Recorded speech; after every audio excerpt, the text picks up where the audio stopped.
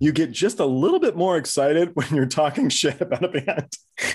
I swear to God, you do. It's just a little bit of like, ooh, I get to unleash. I get to unleash.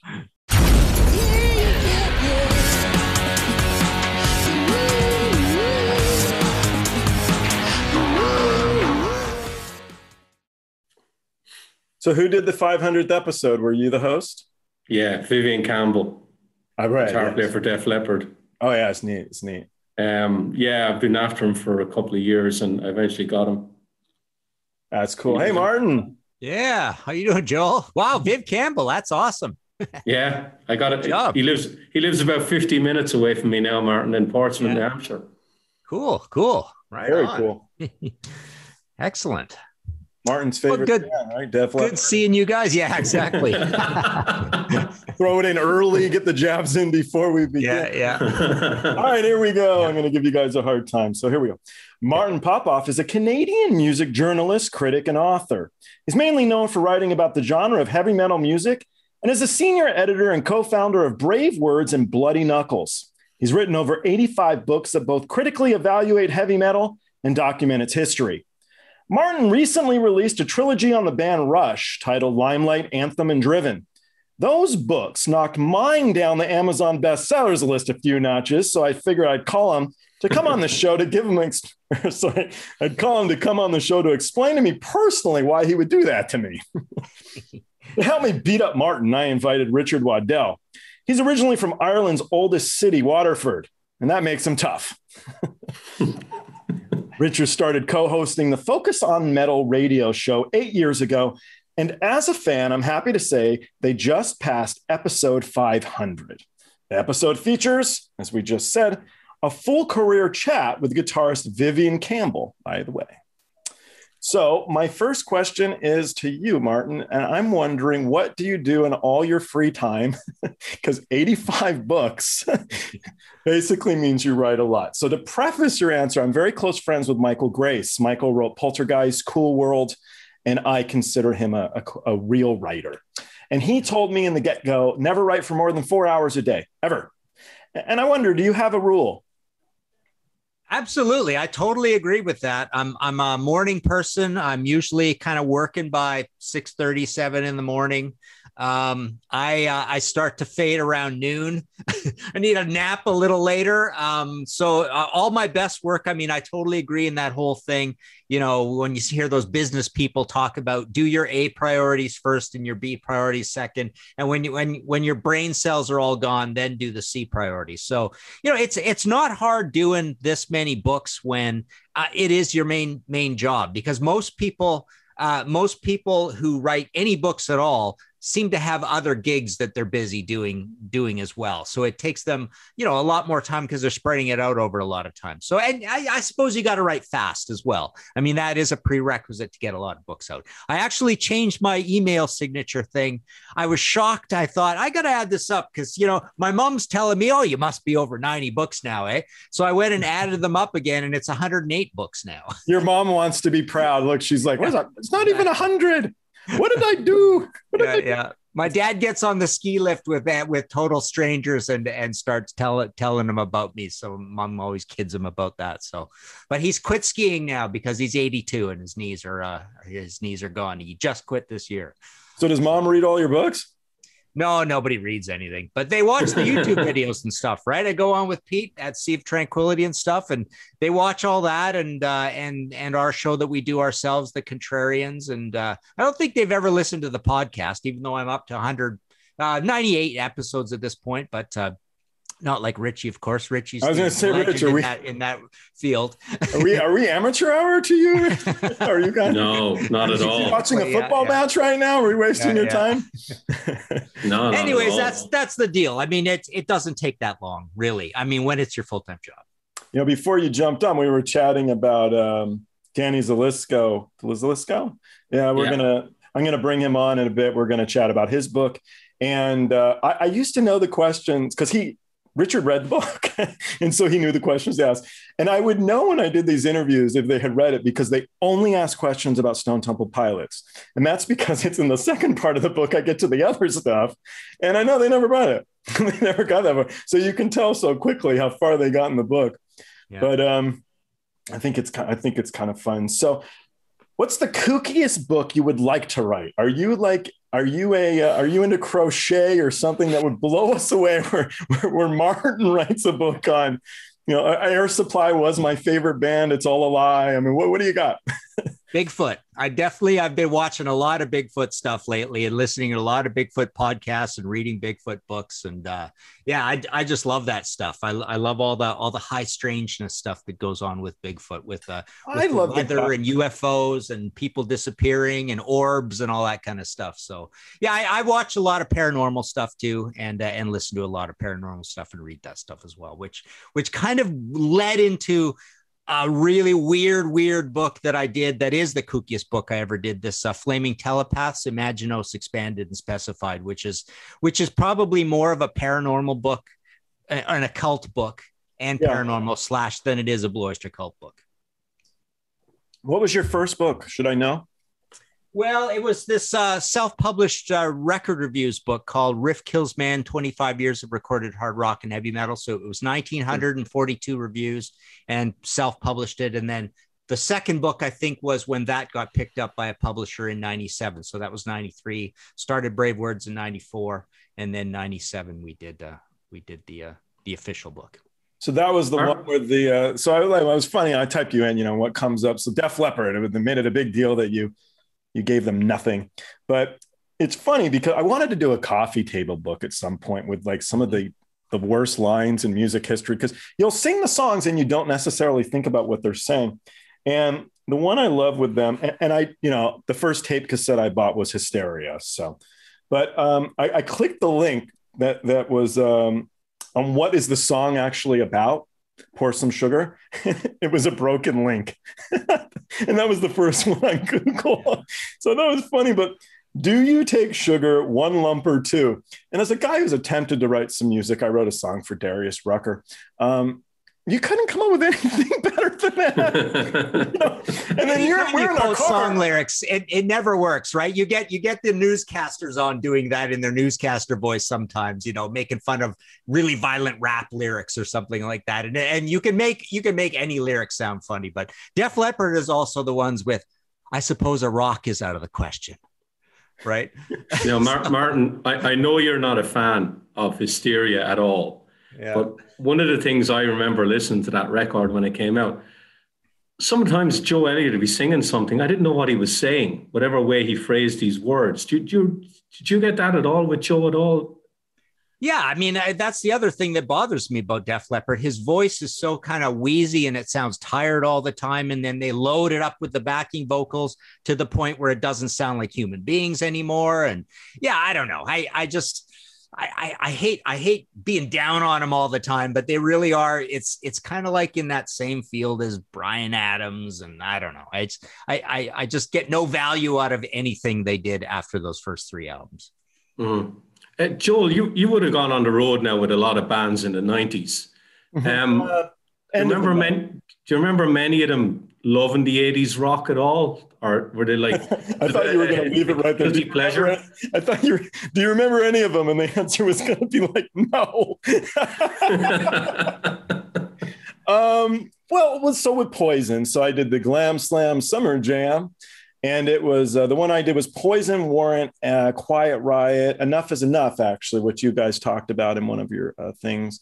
And we had a lot of people float in and out. One of the bands was actually the Turtles, which was a, you know, one of the things I had read that, that you said in an interview recently, Martin, is you're not a big concert goer. And truth be told, I'm not either anymore. mm. I uh, I prefer to sit in the luxury of my. And house. what was what were all your duties? Like, what did you do? So it kind of depends what tour. So on Poison, I was a lighting guy and I hated lighting because the problem with lighting is you set the lights up, it doesn't mean they're going to keep working.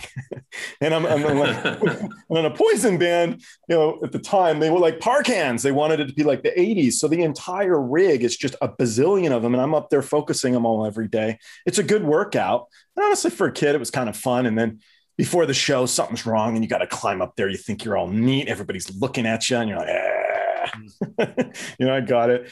But I think that they that was the biggest 80s. Now, I wasn't a big 80s music listener. I was a big STP fan because I had just come off the road with them.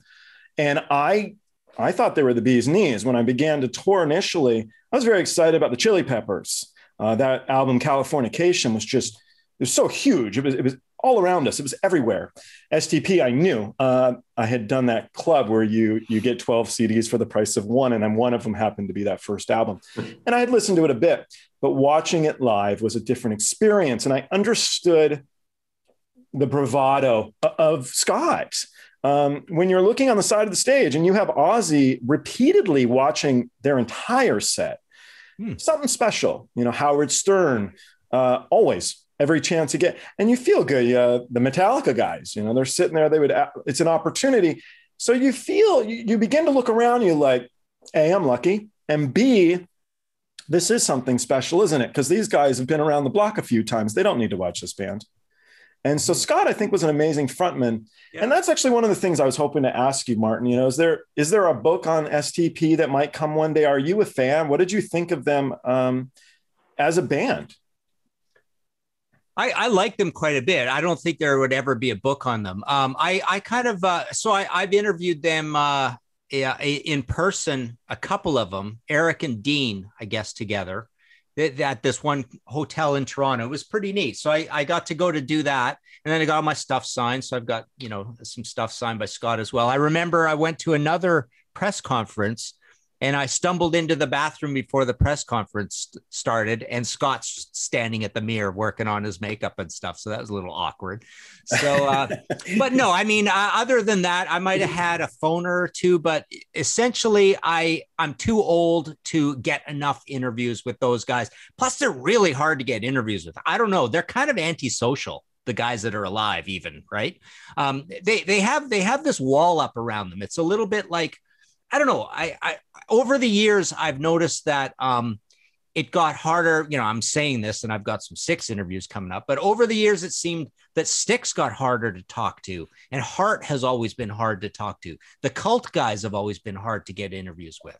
And I remember uh, in in the um, in the 90s when we had brave words it was funny we it seemed like Ozzy was going to be like no problem to meet in person, to talk to, to do phoners with, and then all of a sudden it kind of stopped, and it's like, man, years are going by. We keep getting we keep getting told about getting or get keep getting told no that we can't get Ozzy anymore, right? So you you've got to strike when when you can with these bands, but STP, I just feel like it's uh it just feels, and I don't even know for sure that it's a little bit like pulling teeth trying to ever get those guys on the phone for anything. Mm. Joel, can I ask you a question on that? Because you were on the road with him for a, long for many tours.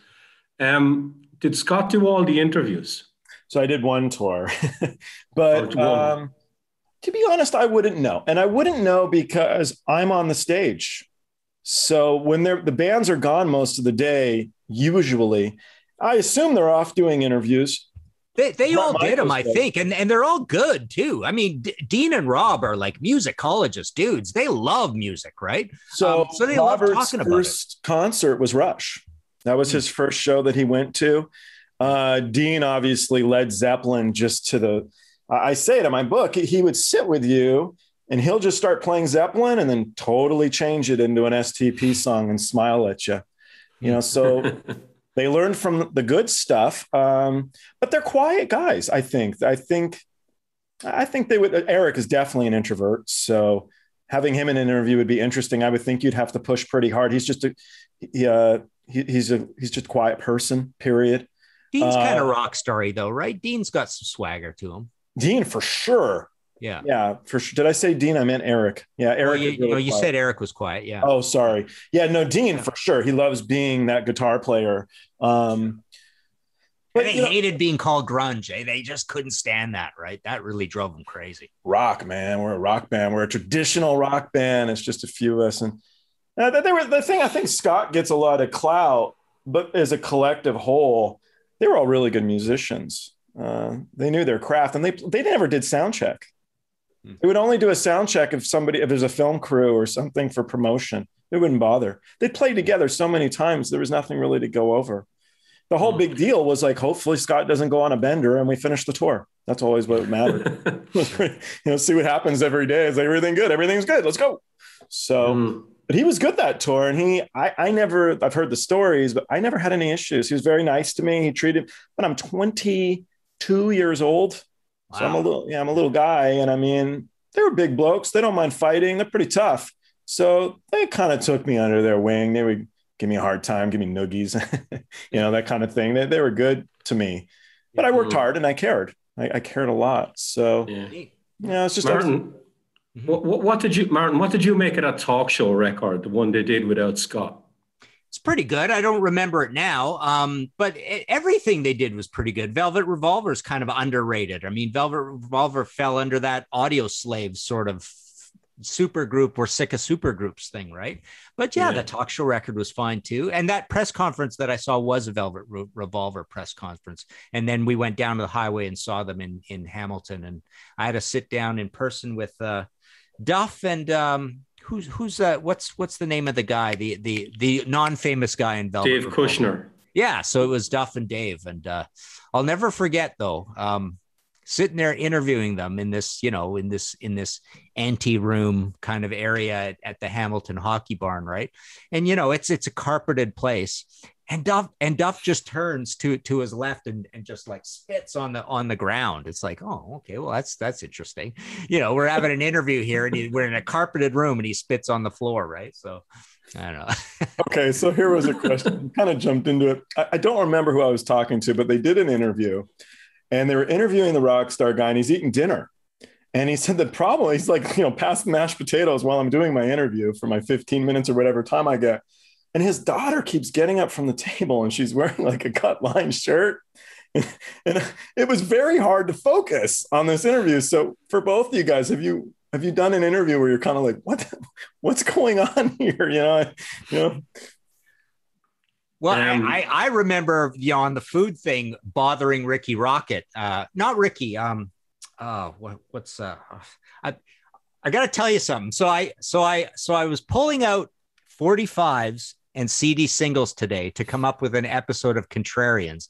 And I had some drywall stuff done in the office. So there's drywall dust. And I'm pulling this stuff and flipping through them. So my throat is kind of closed up and my head is not working properly right now. But uh, Bobby, Bobby Dall. So oh, right. I, I, remember being backstage in the in the in the eating area and and bothering Bobby Dall for a couple autographs, and he was a little ticked off while he was eating, sort of thing. But uh, See, so yeah, I remember a few of those sit downs. I was told it's yeah. hard to get them on your show. Have you ever interviewed any of them, Richard? Any of Poison? No, none of them. It was really hard. I'm like, I don't know why. They're all super easy to talk to, all of them.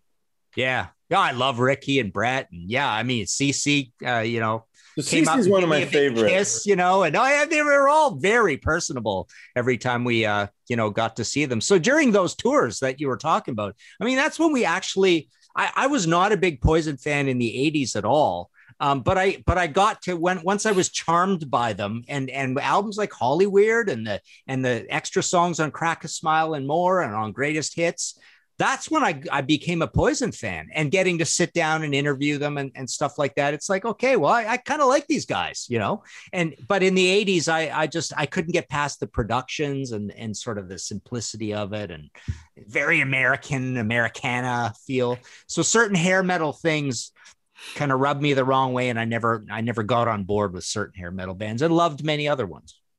Mm. Worked for them on that for that greatest hits album was uh, Richie Zito produced it, and I was actually it was one of my first jobs. I was a runner for Richie, and uh, Richie was such a pain in the ass, man. He he had like a uh, you know you have to fill out the crap about getting your cell phone.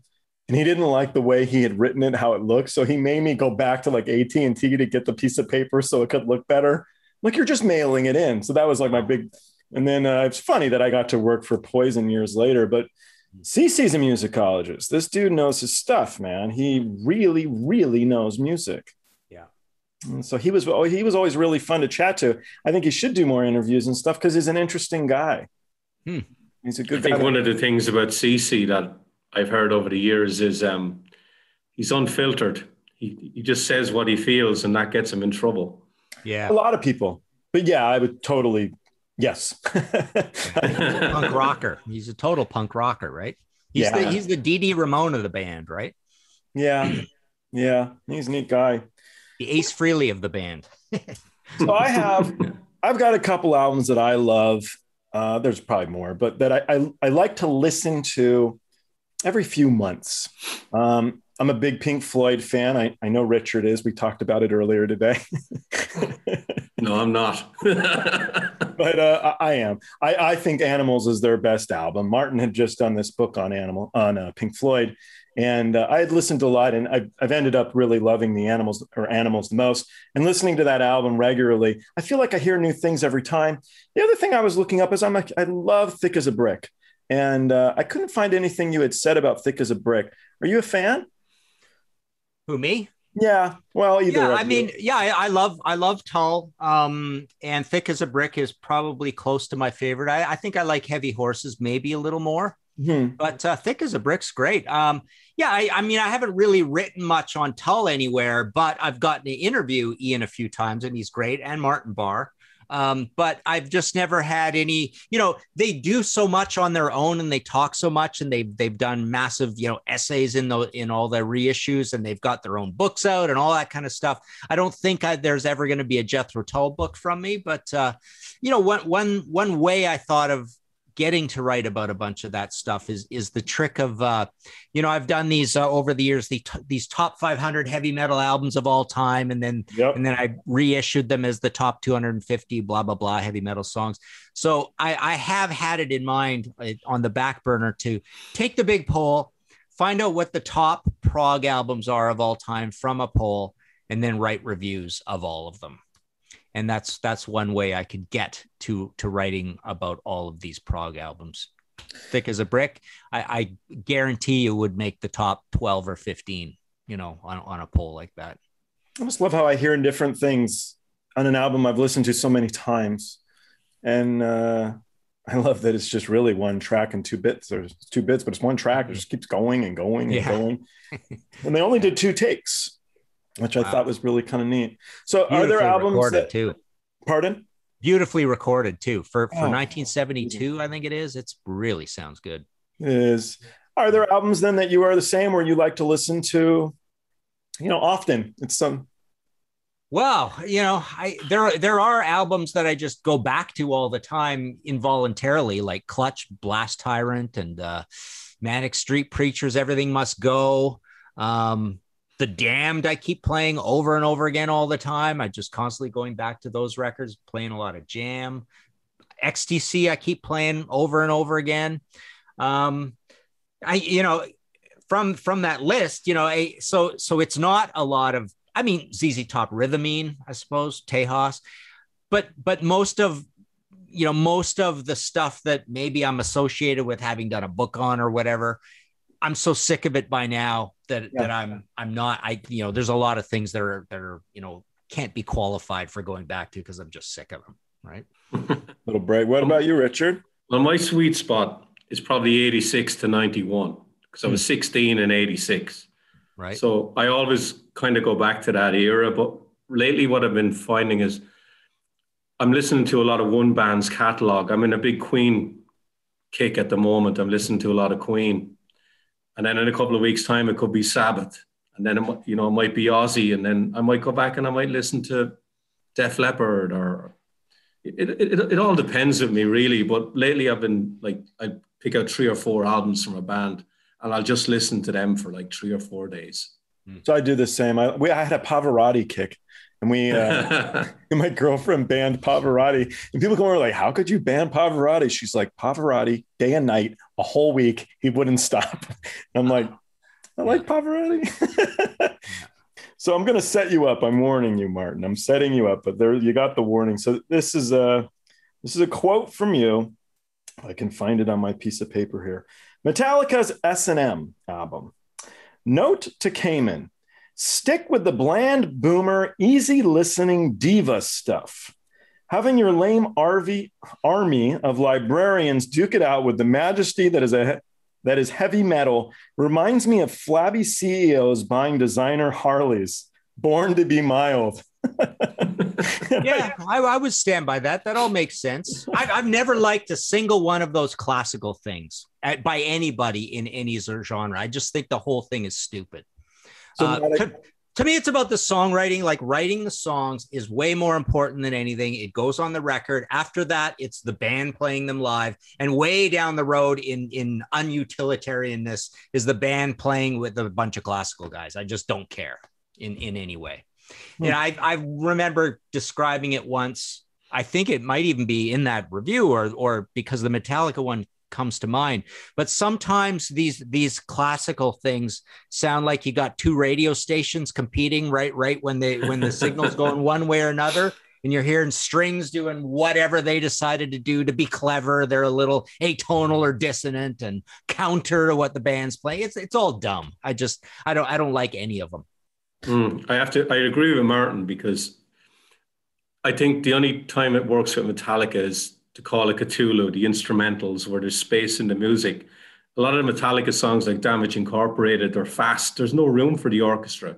You're trying to fit something in that doesn't fit. Um, and the only other songs that really worked, I think, on S&M were the ones that they wrote with the orchestra in mind. The rest, I'd never listened to that album from start to finish again. I probably listened to it once, and I, I didn't even get the second one.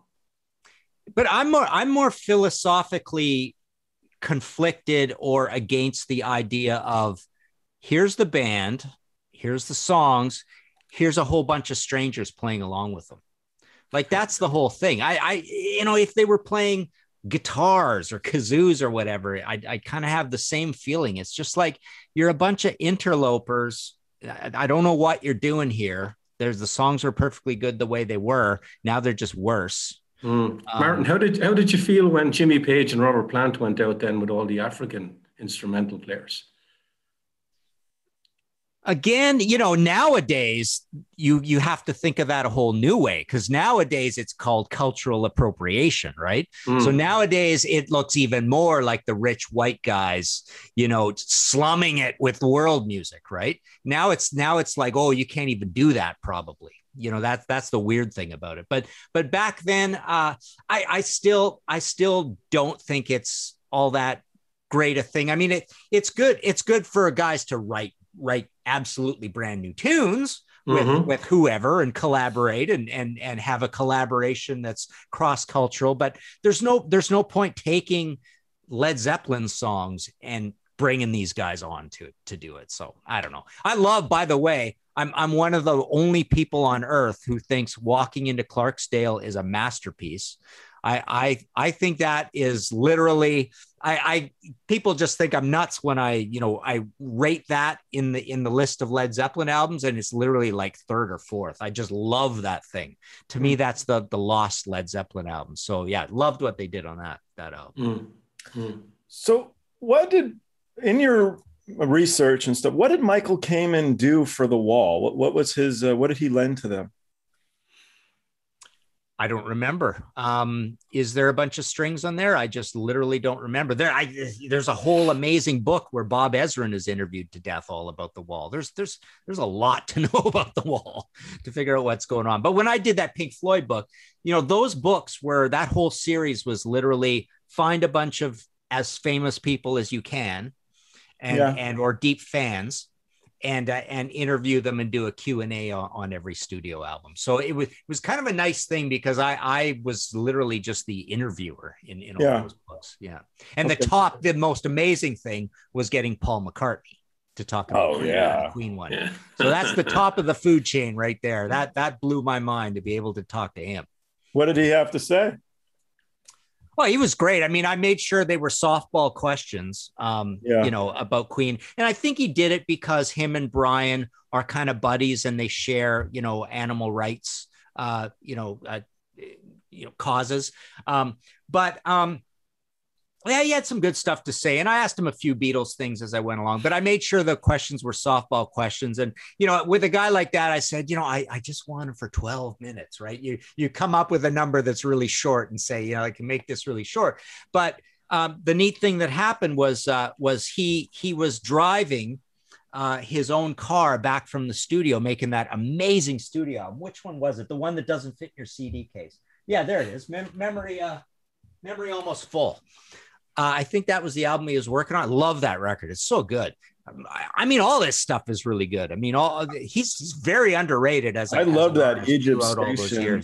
Yeah. That Egypt Station album, I listened to it a lot of times. Yeah. I thought it was fantastic.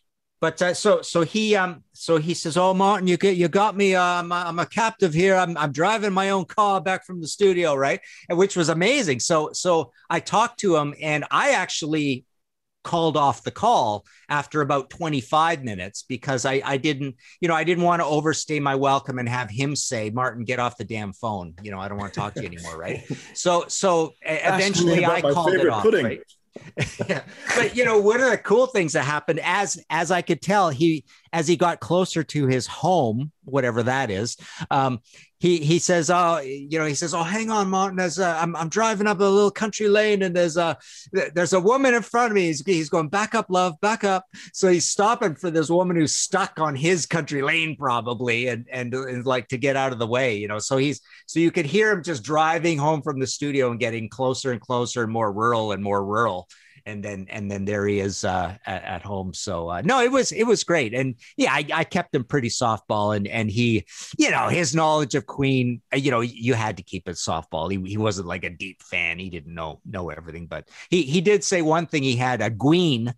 Uh, Queen, uh, a Japanese tribute band. He hired a Japanese Queen tribute band for his wife's birthday when they were in Japan. So they had Queen play for them. You should have just said Ishmael Achna, do it. Come on, Paul, do it, do it, do it, do it. yeah.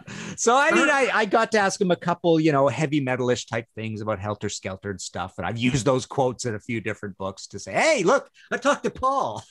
Yeah, As, um, Martin, do you know has Brian May and Paul McCartney ever share- shared the same stage? I don't know. And I can't, I can't think of a single time that would have happened. So Hmm. I don't know. There, there can't could be either. some sort of animal, you know, animal rights cause thing that they did together, but no, nothing, nothing I can think of. Yeah. So here was my setup, and I was hoping you would know better. So I got something to show you guys. But I picked this, uh, you know, I'm a memorabilia dealer. Martin and I had talked about. it. I don't think I ever told you, Richard, but uh, No. so I do a lot of music and, and film memorabilia as a profession. So I have, I have this. Wow. It says the wall, but when you open it up, this is Michael Kamen's complete. Wow. This is his complete uh, handwritten sheet music to the entire album. That's crazy. Wow. That is nice. I thought you- Martin's on the next flight down to see you. that's, why, that's why I texted you, Richard. Like, hey, I'm like, you're like, I hate him. I'm like, well, this is gonna be a, you're gonna be a little bit down. but yeah, I was intrigued to know. So do you think do you think there's more in there than actually showed up on the album? Ah, this is what I'm after, right? So there's so much written in it's hundreds of pages with coffee stains and eraser marks and all the good stuff. I And can't uh, picture a lot of I, I can't picture where all these strings are in, in my head right now. I can read through them, but I mean, there's like the wall prelude i- is just pages and pages and pages and pages. It's the strings, it's the horns, it's everything. So where uh, did you get it? Where? Yeah.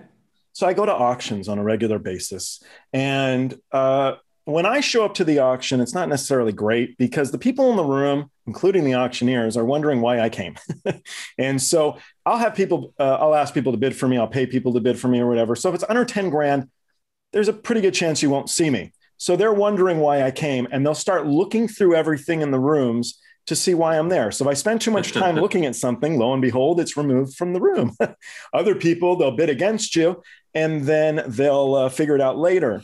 So I'll buy stuff to throw them off my scent on a regular basis. Anyway, I'm at the auction house and the auctioneer, he said to me the day prior, Hey, Joel, what's this? And I thought it was a photo album. And um, we open it up and it's all sheet music. I'm like, well, you know, before computers, you, you need to write it, you need to write it down. And, but I, I, kept thinking it says Kamen, M Kamen, and it says Roger Waters. And I started thinking, uh, why do I know that name? And I think I knew it because I think Kamen, uh, Michael Kamen had something to do with November Rain. Am I right, Martin? I, I, I might be, I think he Hmm. did. Uh, and so I don't know. I- I kinda- Queensryche. Was it Queen's right? Yeah. Yeah, he did that. Uh, Silent Lucidity. Yeah, that's it. Yeah. But I, um, what do we think about that song? It's funny actually. So to jump, I'll tell you the rest of the story, but to jump a bit, I listened to that thing with your friend where we go through the albums you like, and I'd never heard of Savatage. I'm, I'm not a big metal listener. So I listened to it today I thought it was fucking great, man. So thank you very much. Because when that whole The Mountain King came on, I'm like, ooh, you know, this is now we're getting into it. And then it's just followed up by that price you pay. I'm like, this is a good album. This is very, very good. And so um, I don't know. Thank you for for lending me into that. But the next one that came up, because it's Spotify, it flicks through the songs was Silent Lucidity or Queensryche. And I'm kind of like, well, that's a that was a drastic change. it's kind of like I think the album's over. I don't know. It just happened there. So it's funny how they do their algorithms and stick things together. So so the hope is what I want to do. I had a fellow uh, come on the podcast who's a, an incredible. Uh, his name's Kenneth Crouch, and he's one of the best piano players in the world. You know what's funny is about a lot of the musicians you'll talk to and you'll bring on the show. They don't read music, and so they wouldn't they wouldn't know better than than you or I. So uh, Angelo Moore from Fishbone, I know well, and uh, I showed him. He could care less. He was, he was like Richard. He's like, ah, whatever. Well, Pink Floyd. but uh, he couldn't read anything. He wouldn't know what he's watching. Dizzy Reed, he wouldn't know. He didn't read music.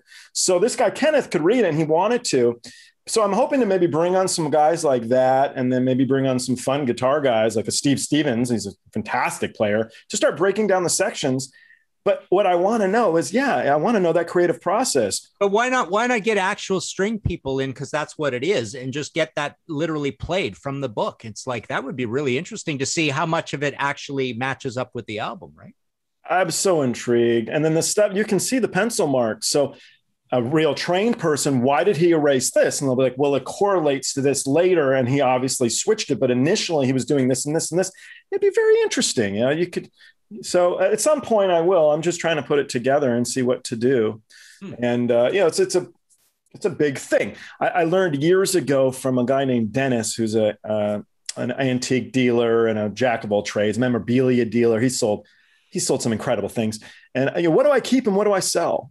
And uh, he said, "You sell everything. You don't have anything good enough to keep." and I'm like, "Like you're an asshole." You know. And years later, it's the best advice I ever got there's only the top one. The Van Gogh is worth keeping. The rest of the stuff, you don't need it. And so I sell, I sell everything, but this is my one percenter. This is neat. I happen to love Pink Floyd too, but uh, this is my top thing that I, I haven't tried to sell. And I'm just trying to do the, the best avenue for it.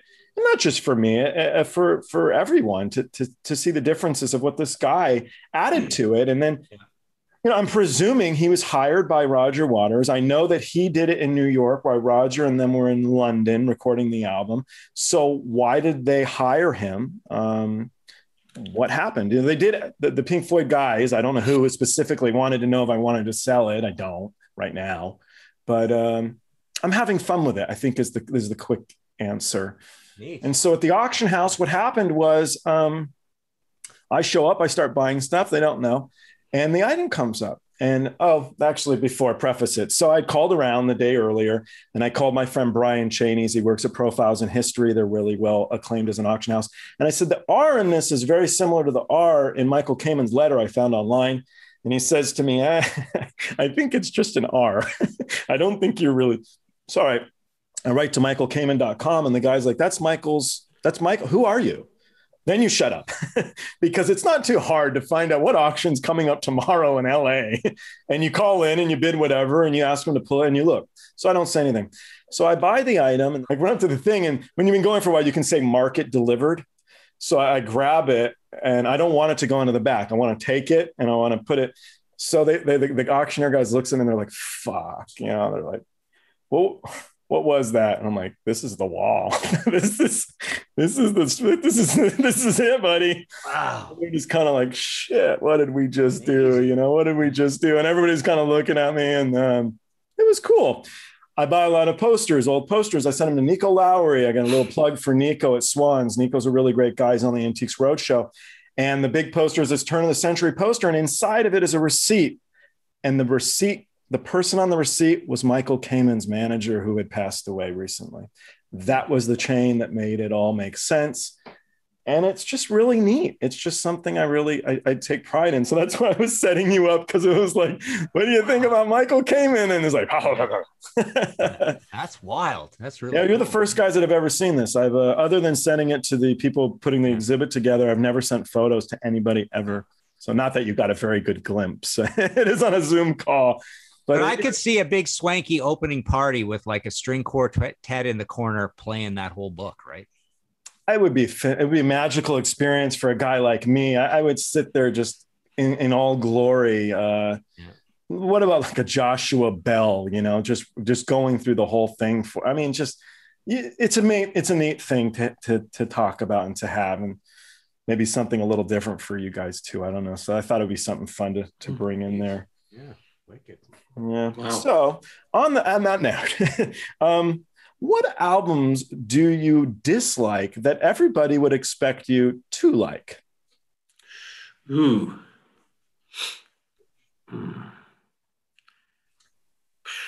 Well, I'm not a big Pink Floyd fan. earlier. I, I like prog. That was pretty good. We only talked about it for 10 minutes or so. Martin, though, maybe Martin and I will get together and do something. And uh, but I thought it was pretty funny. How could you hate? So there's no albums that you find palatable? Floyd Not really, no. I've I tried Animals. I tried all all the early stuff. I like some of the songs, but as a band, they just never grabbed me at all.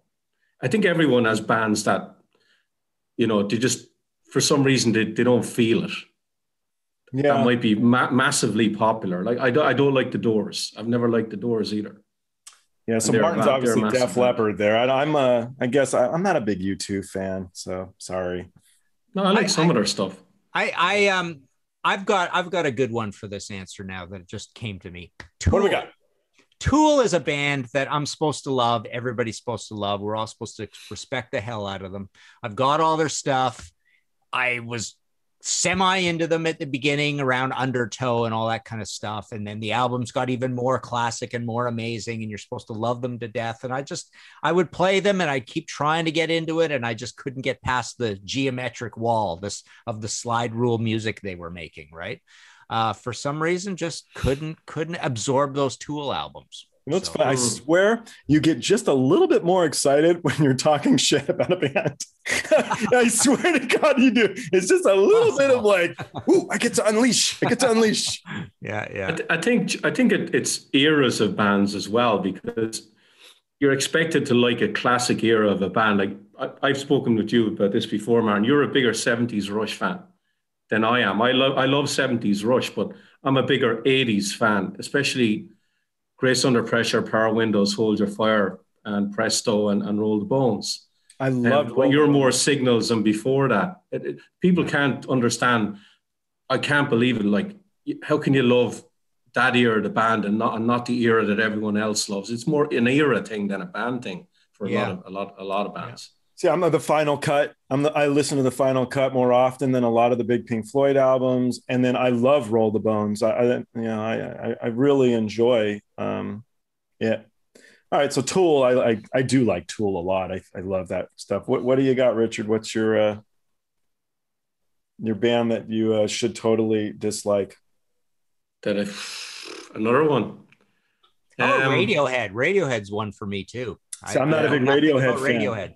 And see, people like they, they assume you love Radiohead because you love Tool, but no, I'm not a big Radiohead fan. Wilco, I, I know nothing about Wilco. I'm supposed to love Wilco, right? I don't like Nirvana. Hmm.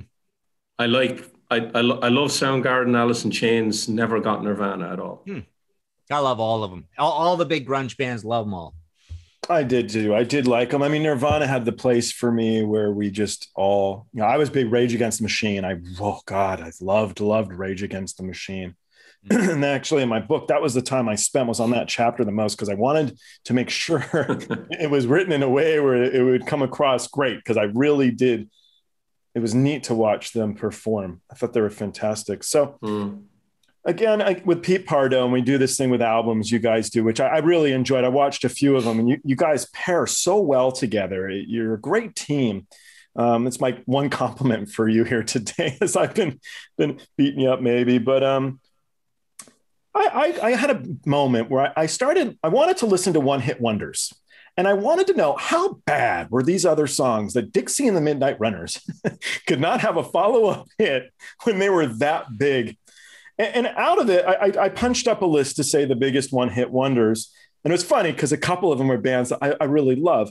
One of them is Blind Melon. I'm, I'm, i love Blind Melon, and that's on the list. In fact, when I first listened to my uh, Dizzy Reed, I called them. I'm like, what the what the hell? I was like, well, how could you not have told me how good they are? you know, Shannon Hoon played with your damn band for crying out loud. You know, how could you never inform me that I've missed out on this great music for so long? And I I went on a blind melon spree for weeks. But some of the other ones listed, Twisted Sister, totally don't agree with that because they had a couple big hits. I think mm-hmm. I like Twisted Sister a lot. In-A-Gadda-Da-Vida, Iron Butterfly. Yeah. Gary Glitter, that was the one that. Uh, Ratt is on the list, round and round. And I read, I heard there, Martin, you're a big. They're not a, they're not a one-hit wonder band. I, I, I love my. I thought they were the great unsung, complicated, sophisticated, awesome, smart hair metal band. Like they, yeah. like early Aerosmith. That's a band that basically always turned in a good album. They always tried super hard and everything sounded great. You know, they used to play a lot because I'm in LA. I grew up here. And so they used to play off of Sunset all the time. And I saw them play so often and they would always give it their all. Like you said, you know, they, they made an effort and they were fun. That was the thing about Poison. That's what I had to learn when I went on the road with Poison. I, I was a snob. You know, I, I really did. I shaved my head every day on stage in revolt against this long hair bullshit. and I I turned around quickly because there was a lot of boobs. but um, yeah, take your hat off. Enjoy your enjoy it. They're not trying to be Led Zeppelin. Brett's never said I'm Led Zeppelin. They're, they're, it's an enjoyable experience. So can you do you have the ability to do that? Just to listen to an album and, and enjoy it for what it is. Yeah. What other one hit wonders you got? This is uh, this Soul is Asylum was on there. Yeah, I know you're a fan of. Train. Yeah. Um, and then I, I know, um, I think I stopped. A lot of it then was like poppy stuff, uh, rap songs. A lot, a lot of rap songs was on there. The hmm. Macarena. I'm like, you know, I figured, as a kid, you know, I, I figured these poor one-hit wonder guys. They they really wish they could have been out of this category as as VH1 played it every single day of the one-hit wonders and you always knew it was going to be a-ha was the best video. And uh, nirvana or a-ha was always the best video. And the one hit wonder was always dexys and the midnight runners. But um, i don't know how bad do you think they felt about it? I, th- I think they probably did okay. I still and now as an adult i, I think it's a feather in the hat. I just I don't agree back to the old days brownsville station smoking in the boys room would fit. Looking glass brandy. Oh yeah. you think of the the, the semi oh. early oh. nascent yacht rock things like Starland Vocal Band. You know, there's a lot of 50 stuff. Yeah, a lot, a lot of 51 hit wonders because they were churning them out. They were cruising with all these guys. So yeah, but Joel, are all those one hit wonders only in the US? Because some of these That's bands might have had multiple hits in the UK. So like Chinese democracy, this big flop, he spent 13 million, blah, blah, blah, blah, blah. It wasn't a flop. And an international level, it did well. You know, they, they liked it. It didn't, it did not flop. Just, mm-hmm. you know, they, they'll say like, you know, now we're going to beat up on America a little bit because you guys aren't from here. But actually I was born in England. So I don't know. Hopefully I don't get beat up when I go outside, but they'll say, you know, when I traveled a lot, I'd backpack around or whatever as a kid. And uh, they say, you know, you Americans, you think America's the whole world. And I'd laugh and be like, no, no, we don't we think the city we we are from is the whole world because we've never been to any of the other states either. you know? And then they'll, they'll, do these things where they'll where they'll tell the other world, you know, where in America is this or that, and I'll be like, ask any American where Poland is, and they couldn't tell you. Mm-hmm. So yeah, yeah. Beat up, beat up on my country for a couple minutes there. So, yeah. That is true. That is the thing that a lot of people think about Americans. They just don't know enough about the rest of the world, right?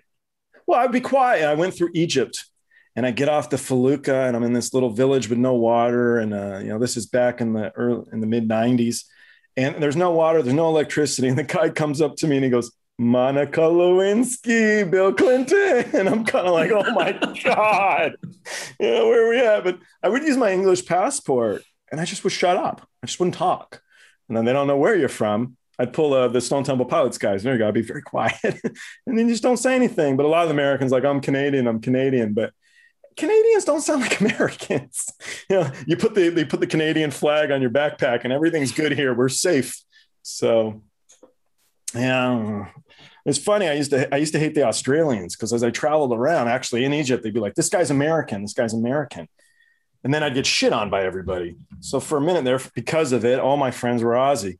And so we'd go out drinking beers. And uh, after a, bunch of beers, what do you think about the Aussies, Joe? I'm like, I hate the Australians.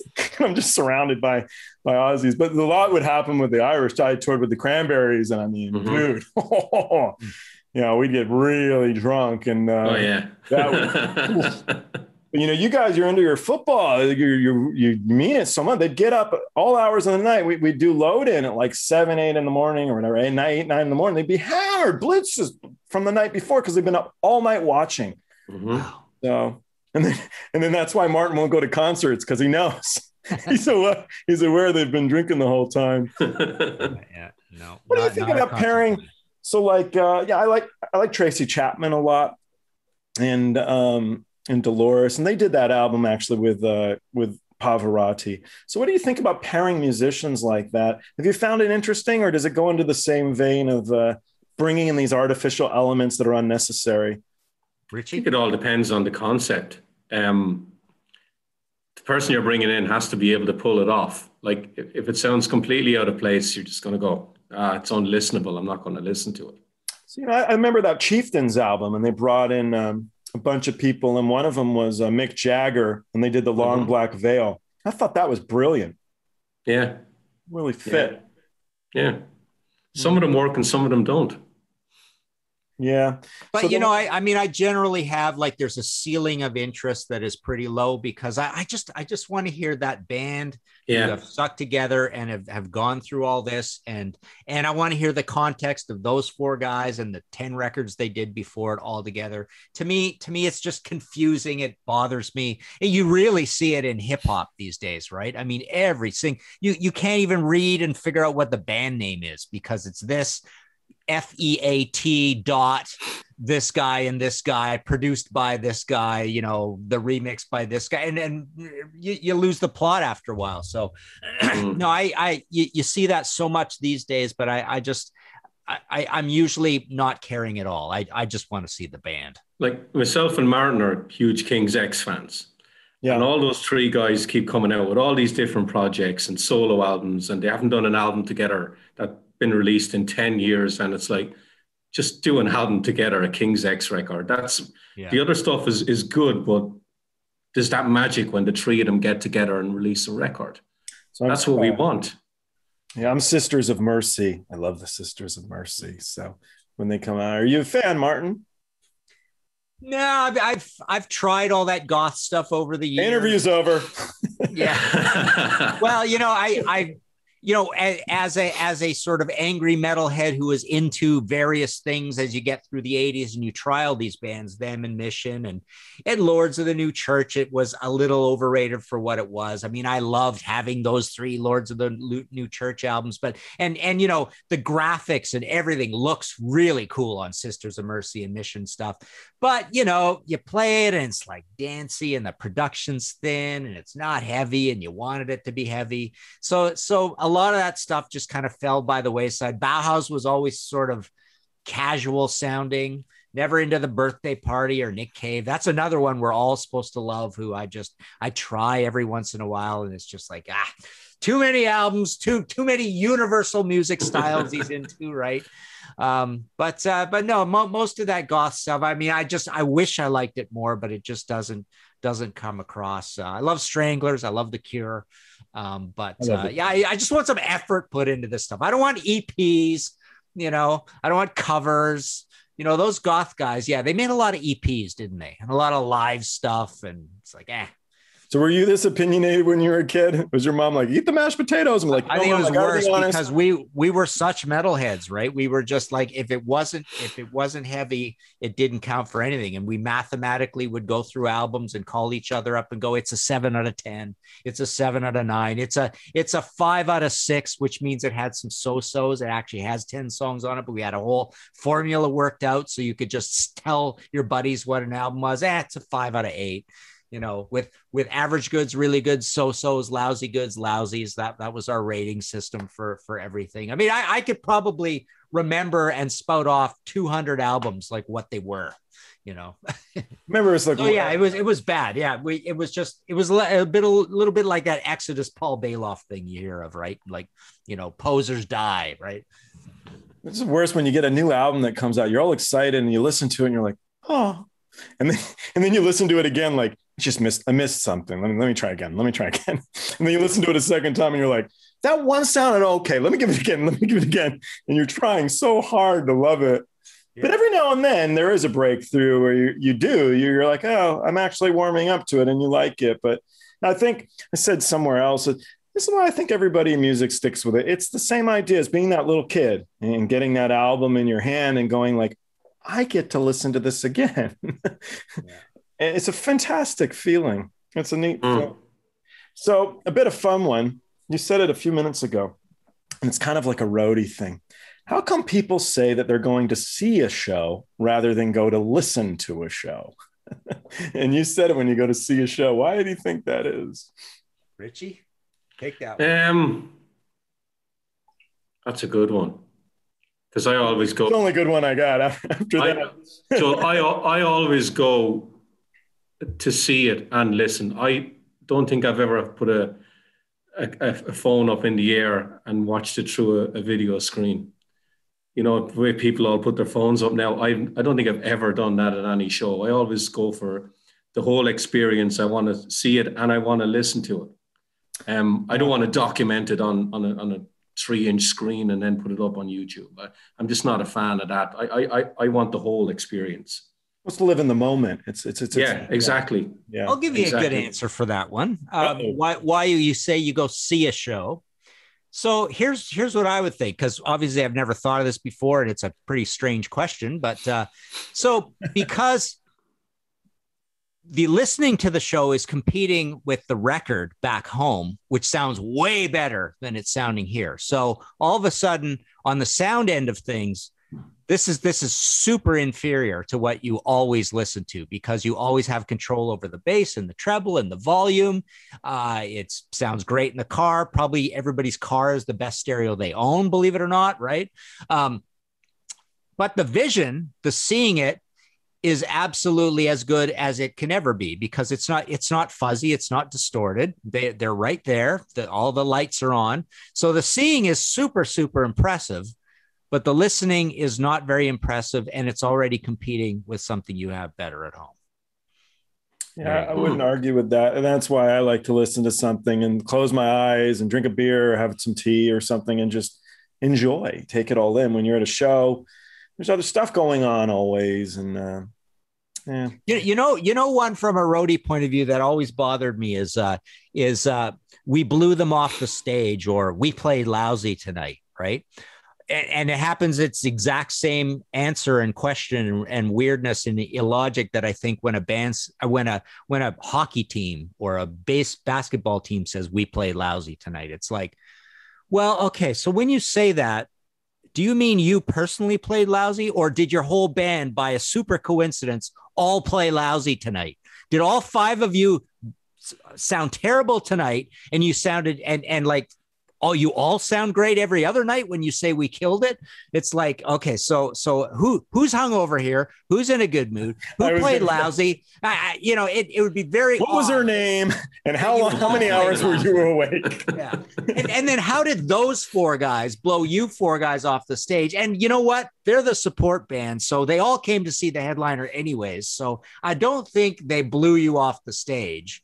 Uh, so yeah, all of that really, really bothers me too. Like, like that whole that whole collective. Oh, we we played lousy. They blew us off the stage. Blah blah blah. So the, the, blow off the stage thing. We're gonna go. So I did a couple ones. So it was uh, the Turtles with with all of these metal bands. I, I, have no idea who booked that, but I was so happy to see something that wasn't metal because I'd been touring with Poison for a while. And the Turtles were very, very good. By the way, they did a whole historical deal on on what their band had done, and it was really fun um, the Blue Man Group opening up for Godsmack. That was a bad one. you know, what, wow. the, what the hell was the promoter thinking there? These guys made it through their show. They were the Red Man group by the end. They were bloody, man. People threw everything they could at them. Wow. And it's Godsmack. It was mean. But then, yeah, yeah but sometimes you're kind of like, who's up? Uh, yeah. Black that, Sabbath, Ozzy. Osbourne. Yeah, the bill, the bills can be can be different, but uh, you know, and I mean, the and the other part of this, can you really all be better than the other guys who are all bad? Is you have songs happening over time, so it's like it's like, did they blow you off the stage with song C versus song D of your set? Uh, and like you, when when you went down and played something off the new album, sure, maybe the lull was, but but just like like to collectively say somebody blew somebody else off the stage. And and every fan out there has a total different opinion of why they're there and what's what kinds of songs they want from both of those bands. There's so many variables that that it's just it's just odd to think that that oh, well, Martin, that was that I think that was one of the things you addressed in when you did the Black Sabbath FAQ book. Hmm. There's this wide held knowledge over the years that Van Halen blew Black Sabbath off the stage in in '78, yeah. yeah. and you tried to contradict that, mm-hmm. um, saying that that wasn't necessarily completely true night after night after night. Yeah, yeah.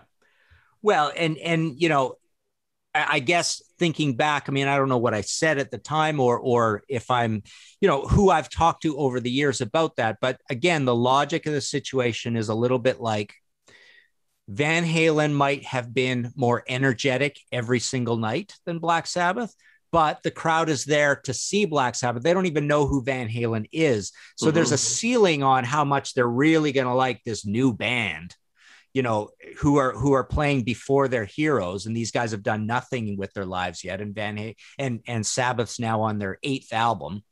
So you know they're there to hear those sabbath songs and those sabbath songs get done and, and it's not like they're falling off the stage like aerosmith having a, a you know a punch up and they fall off the stage or whatever and they can't do anything. It, it it's never going to be that bad right? Um, mm-hmm. maybe ozzy's not singing the greatest or whatever but but yeah exactly. That's that's the kind of thing. It's like no, it's it's not entirely possible that uh, that you know you you all these people who paid to come see Black Sabbath suddenly they don't even like Black Sabbath anymore, and Van Halen's their favorite band. Mm. I, I, will say that w- there was one band that I saw in '92, and it, they opened up for Megadeth on their Countdown to Extinction tour, and I'm a huge Megadeth fan, and Countdown's one of their best records, mm-hmm. and they blew them off the stage was Pantera Oh, Pantera yeah. just released a vulgar display of power. Wow. And yeah. I, I had the album, I think it was probably out about a month. And they were absolutely incredible. The Megadeth looked pedestrian and they were too polished, where Pantera had this raw energy. They were they were just uh, coming to their peak at the time. They really they were hungry. They wanted it, and you could tell. And even though they only played for 40 minutes, I still put it down as one of the best sets of, of songs live I've ever seen. They wow. were amazing. Yeah, that's cool. Yeah. Mm-hmm. You know, I think it's important too for the fan. Yeah, you're looking at the best bands in the world. It isn't like one of them sucks and one of them's good. You're you're you're, t- you're, you're watching the best musicians there are. They they made it through the cut. So mm-hmm. soak it all in. And and one of the best things what everybody loves about Detroit, they love music. Actually, one of the things is uh Toronto. So there's a place called the Warehouse. I don't know if it's still there. It was such a fun place to watch to, to, to watch a show. it was great little venue. It was really neat. And the fans were enthusiastic. They were happy. If you had an off night or something was going on or whatever, it was okay. It was okay. Yeah. It was a fun experience. Yeah. And you know, Richie, to your point, it's like 50 to 100 of those people thought Phil was just screaming a bunch of noise, right? I mean, bring us Dave. Dave's a great singer. Phil, this this guy's an idiot. Look at him jump around. Oh, look at his hair or whatever.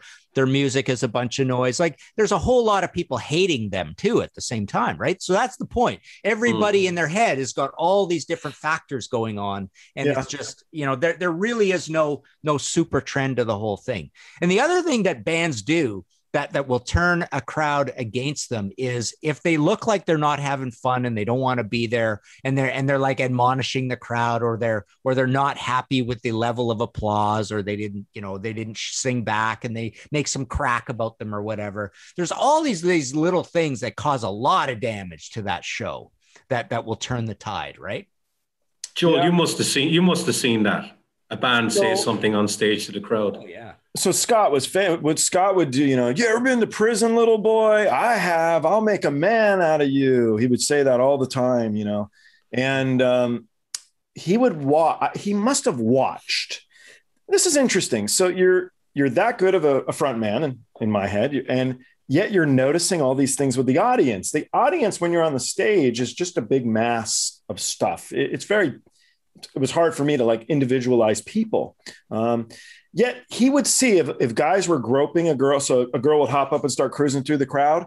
He would watch them to, if, if a guy was groping a girl who started crowd surfing, he would stop the show and start, You ever been to prison, little boy? It was always the same thing. And then if he felt like it, he would jump into the audience to go kick that guy's ass.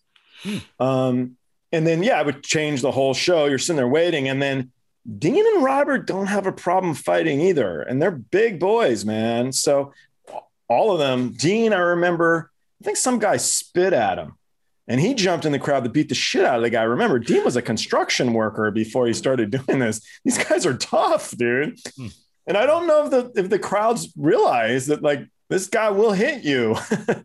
so th- those things would absolutely happen uh, with STP, and then Axl uh, is is famous for getting angry and stopping the show. So uh, I didn't see that happen, but I was fearful of it in Rock in Rio.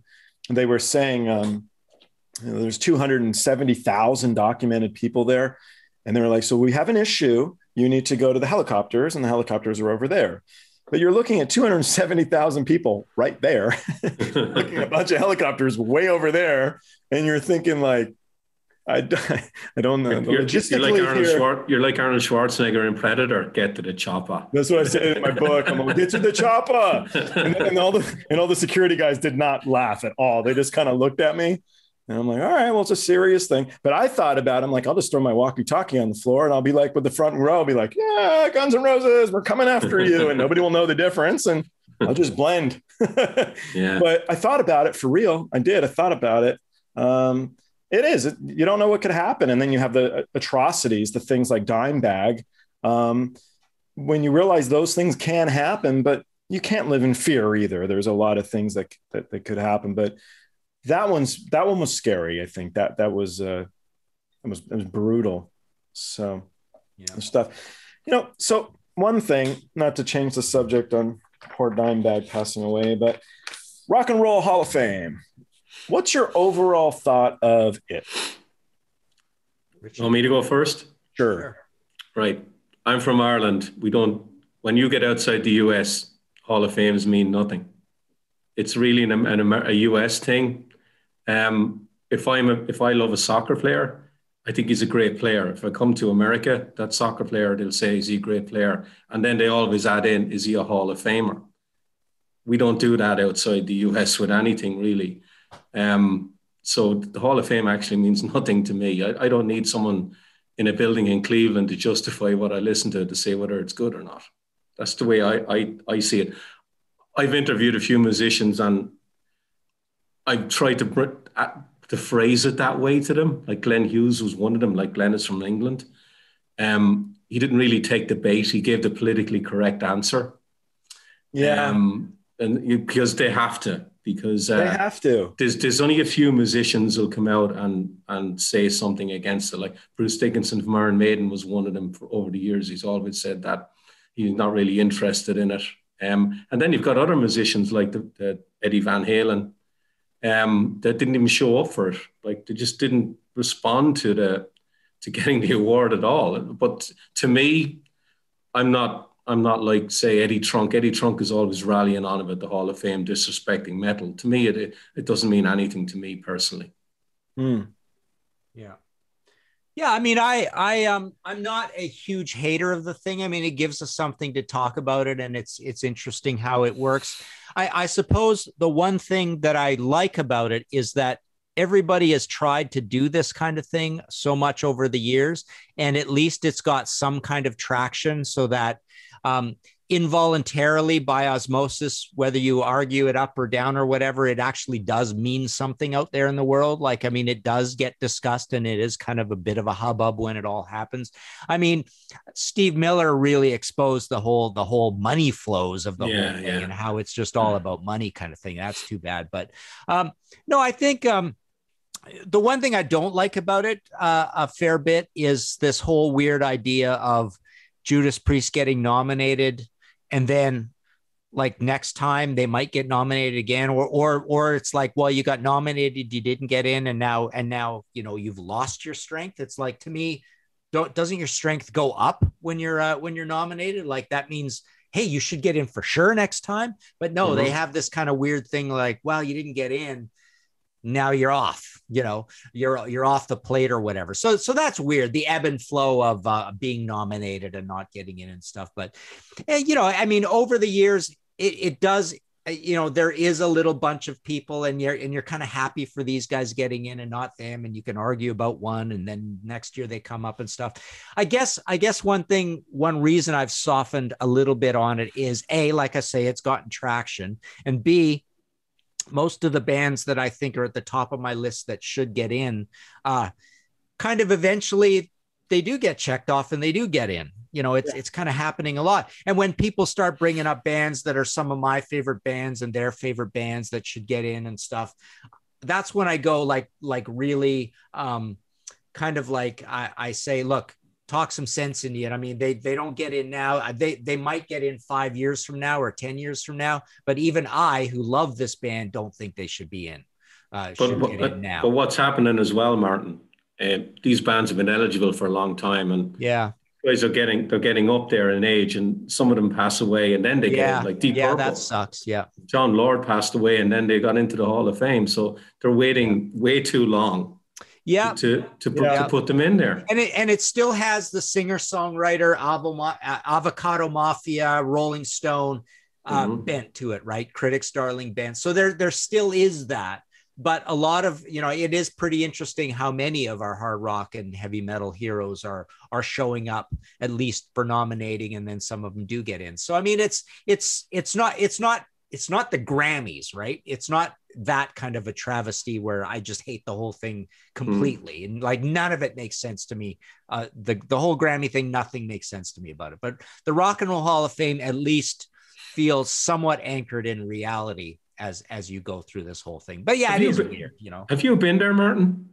To the Rock and Roll Hall of Fame? Yeah, yeah. a few times. Yep. Because like it's it? not far from here. Yeah, it is. It's it's a really fun place to go. I mean, it's it is a little bit like uh like a smaller version or, or more broken up into a number of things like this Pink Floyd that's coming, like the David Bowie that had happened. I love that. I went to the David Bowie thing. I was there for two and a half hours. It was a long time, right?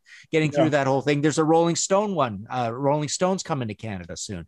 Um, so so the Rock and Roll Hall of Fame is is like three or four floors of three different themes or bands like whatever for this the you know limited amount of time and they do a great job of it. I saw a clash one i remember a bruce springsteen one uh, and then they've got the standard stuff that's there all the time. Yeah it's it is. It's a fun interesting thing to go to go look at and it's it's kind of neat that it is in cleveland uh, because it gives cleveland something right? And it's it's not yeah. far from here but it's uh yeah so cleveland became a little bit of a you know it, it's a kind of a place we'd go once in a while you know, with Brave Words, our, our, magazine put on a couple festivals in Cleveland, and I, I like the Browns. I want to see the Browns win, so it's uh, it's kind of cool.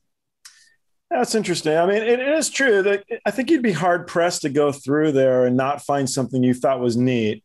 For me, it was uh, John Lennon's report cards when he was a kid. Uh, maybe silly, but I don't know for whatever reason I thought that was kind of neat. Uh, I know you're not a Doors fan. I'm actually not huge, but uh, Jim Morrison, he, he, did he excelled in English, you know, things like that. And you're kind of like, oh, if they only knew, he wrote some good lyrics. So I think it, I think it's it's it's a good way to look at it because my initial opinion is what you said, Richard. I don't quite understand it. If you have a, a baseball Hall of Fame or whatever, they do it off of numbers. This guy had X amount of years. He hit ERA, said so, and so he deserves to be in because he's at the level that we've already established is is great. Um, but with the music stuff, where are we uh, picking these? What hat are, are these names coming out of? And then Jay Z is is is rock and roll. so um, yeah, there's that whole thing too: pop, hip hop, country, singer songwriters, uh, legends who maybe only made a couple albums and they weren't even all that famous, but they're legends from the early days. So so there's so many factors. You're right that that throw. So oh, well, I have a friend. He's an Irish guy, and he is. How come Thin Lizzy's not in the damn Hall of Fame? He's like, this is just was so stupid, and he's so mad. He was mad. He was very mad. I'm like, well, because they weren't doing a, uh, a, a re-release of a Thin Lizzy album this year. That's why, my friend, you know. And he's like, yeah. Well, that's one of those that that I I think like, hey, eventually, but uh, over what I'm seeing on this list, I I they're one of my favorite bands of all time. But but I but I I like talk people down on Facebook and say, look, no, compared to this list, Thin Lizzy doesn't deserve to go no. compared to. But it is true. I mean, it gives you a, a way to discuss, to exploit, to dis- it, it, why you bring them up out of somewhere you haven't talked about them in a little while. It, it renews interest and energy. So I think that's a really good way to look at it. I like that. And I've written these articles for. Uh, I did a big one on Yes. I did one on Judas Priest, and I did one on Deep Purple for Goldmine magazine about here's the reasons they should go in the Hall of Fame. Right? Have you heard and, of all those bands, Richard? Two of those mm-hmm. went oh, in, right? but Priest hasn't gone in yet, and and I think uh, you know what are the top of your guys' lists? Who who are the three bands that aren't in that you think are the ones that should be in the most? Me, Lizzy for sure. Who, okay. who Judas Priest, Iron Maiden, yeah. and Lizzy. Yeah, I, yeah, I, would put Priest and Maiden at the top of my list. Yeah, definitely, definitely, definitely. Yeah. The Beatles. Yeah. Jethro Tull is not in yet, though, right? No, I don't. Yeah, so I I think they should be in too. Yeah, I do. I love that album. What was the so so Martin was a drummer at some point, and uh, what was the name of your band, uh, Martin? Torque. Torque. Okay. And, and in school and in uh, in uh, second year university, we had one a university band called First Inversion. Uh, but Torque was our main band. Is that is that all the band names I'd come up with? Yeah, I think that's about it. Yeah. We're gonna have a book on your Iron band? Maiden, Iron Maiden letters, right? We had a big banner behind us and all that stuff. Yeah. Good. Well, all right, guys. Well, uh, unless there's anything, Richard, that you're pressing to to bother Martin about here. Yeah. Well, I do have one thing to show Martin. Oh, what do we got? Oh, oh yeah, have it, Martin. there you go. Yeah, yeah. Yeah. So, okay, you did the three Rush books. I got all three of them right here. There we go. and they did. They drove me down the list. Thank you. we got we got to get Martin writing that book on uh, well it wasn't crochet what was it his mom's mashed potatoes or whatever and then I I'll do better again but um, I'll do a Bigfoot book actually driven for the first time I saw it uh, it, it showed up on the Canadian nonfiction list at number nine for for sales that's the first time nice. I've ever seen a book actually on a on a sales list you know, one nice. one interesting question for me, maybe it's on a more personal level, but um, so with Danny and uh, the, there's a woman I'm going to bring on. Her name's Tana. She's. Uh, we talked about. It. She's doing a book too. So uh, she had a publishing deal. He didn't. I do not. Uh, I didn't look for one. You've you've gone through publishing deals, but you self release some. What are the major differences? What do the publishers do for you? Well, I mean, in most cases, the publishing deals are better than the self-publishing, but sometimes the self-publishing's better, and sometimes the self-publishing is even better than like if you get a real good seller. Uh, sometimes they can be better than even a pretty really good you know publishing deal. So I've I've had I've had every size of advance from zero dollars you know up to I don't know kind of kind of the 10,000 range. Um, but so so i guess the main thing the publisher does for you is if you do get a big advance you kind of do get a bunch of pay depend you know, like irrespective of how it sells and you get that pay pretty quickly. And you don't have to worry about the layout and the and and all that sort of things and and often getting you know you have less things to do if you do it that way. But honestly i mean in most cases uh you know across all 108 books or whatever it is i would say the pay works out the same no matter no matter how you do it. Interesting. Um, you know and and and but the pay on on the self-published stuff is you're printing it in like the low hundreds but you're making 20 bucks a book. Uh, with the publisher you're making a dollar 50 a book right? Well amazon takes a lot too. They take well yeah and, and i don't give set i don't give any of my self-published stuff to amazon because all i hear is nightmares about how they just beat up everybody and you you don't make any money uh, you make no money. On my book i make zero but i wanted it to be more accessible. I, I didn't really care. I didn't do it to make money so uh, but yeah they they push and then the audio book is the biggest one. They i think my audio book we just released it it's like 20 bucks. I mean, and there's no cost. They just email it to you. There's it's zero. And you're not allowed to choose the price. They set it. There's nothing you can do to decide what you want it to be. Yeah. So, but that's why Amazon's so big. yeah. Yeah. So Well, guys, I, I really appreciate you taking the time, and uh, it's That's very fun. it's good to see the two of you guys. Yeah, yeah, it was fun. That was a cool little chat and stuff. And I feel more learned. I was intimidated by you. I'm like, I don't even know what to say to this guy. But I knew once I bought up I'm intimidated Savatage. by both of you guys. Believe me. I figure once I bring him Savatage, he'll be really nice to me. I'll just tell him I really loved the album, and he'll be like, "This guy's a class act." Right on. Well, thanks. Yeah, this has been a lot of fun. Till next time. Till next Okay. time. Sounds Right good. here, I'll push the end button, but we you guys can chat.